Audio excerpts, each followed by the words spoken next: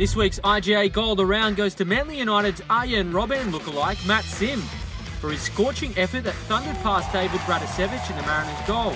It was the midfielder's 10th goal of the year, and this season's been one of the best seasons he's had since being part of the IGA National Premier League New South Wales Men's One.